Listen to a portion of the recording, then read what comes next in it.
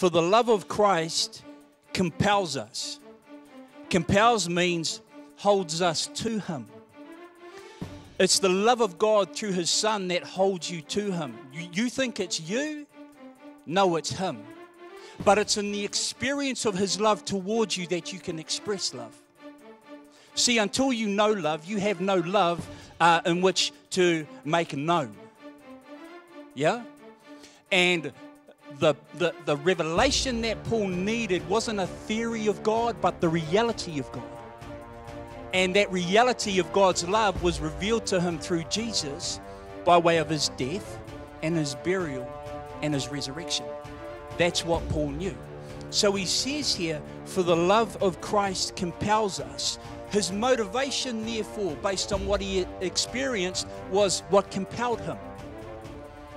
He met love to walk in love.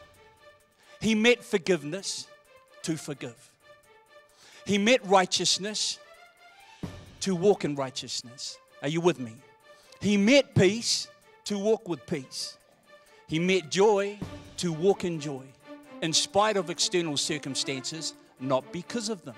So, because he possessed the Prince of Peace, peace was his reality, and he was compelled not from external demand but internal motivation. What's the, the compulsion, Richie? The love of Christ compelled him. And so we see that's the difference between uh, the unforced rhythms of God's grace and trying to be a good Christian. For the love of Christ compels us because we have judged thus that if one died for all, then all died. His death was your death. Okay?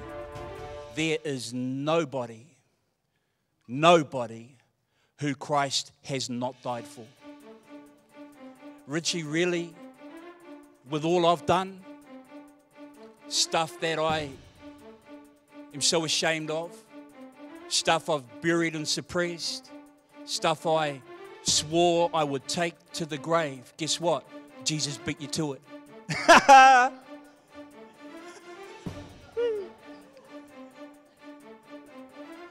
That's the scandal of this gospel, my friend. It's the scandal. the, this gospel I'm preaching to you is a stumbling block to the carnal condition because it rules him out and it rules Jesus in. He's the glory and the lifter of your head.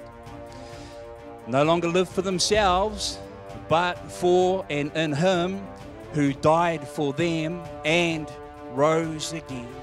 This is the greatest miracle of all humanity and all history from this present time right back to Adam. The miracle of redemption.